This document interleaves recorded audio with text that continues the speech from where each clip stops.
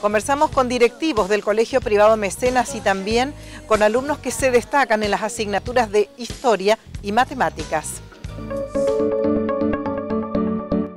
Con mucho orgullo nuevamente eh, queremos contarles que estamos con Agustina Rossetti y Julieta Verón, que son participantes de la Olimpiada Jurisdiccional de Historia, eh, donde realmente se están desempeñando eh, haciendo brillar al colegio. y quiero comentarte también que lo tenemos a Carlito Soto, un alumno también del colegio, cuyo desempeño en las Olimpiadas Matemáticas es superior, realmente él les va a contar él ya forma parte de eh, competiciones a nivel internacional.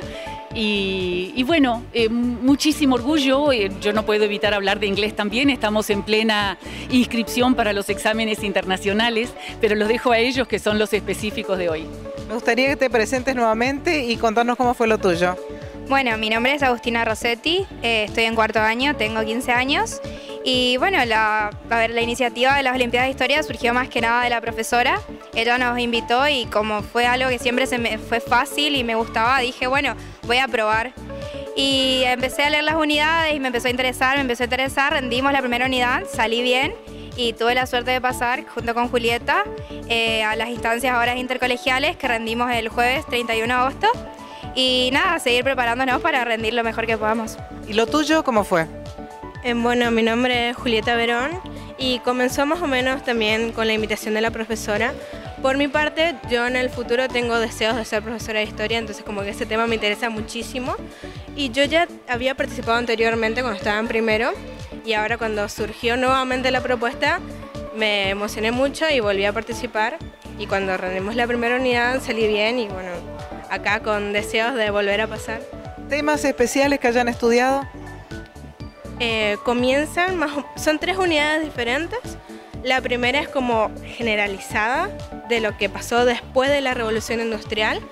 La segunda es puntual de lo que pasó en América Latina y la tercera es en Argentina puntualmente. Carlitos, lo tuyo, ¿en qué lugar del mundo esta vez? Hola, soy Carlos Miguel Soto del Colegio Mecenas, tengo 16 años y este año por primera vez logré participar en la Olimpiada de los países del Cono Sur. Hace tres años que llevé el entrenamiento y esta vez hizo en Ecuador y por fin pude ir y obtuve una medalla de oro. Seguramente cada paso es más difícil, es un desafío cada meta nueva. Claro, hay muchas instancias y cada una tiene problemas más complicados que la anterior. Esta es una de las últimas instancias de las cuales no se pasa más por tanto es una de las más difíciles, una Olimpiada Internacional. ¿Por qué matemática? Desde muy chico ya me interesaba la matemática. Antes me interesaban otras materias, pero fui cayendo en la matemática cada vez más y también por incentivo de los profesores porque yo no tenía idea que existía la Olimpiada, pero un día me trajeron la prueba y me fue bien y me gustó y de ahí seguí. ¿Cómo continúa todo esto?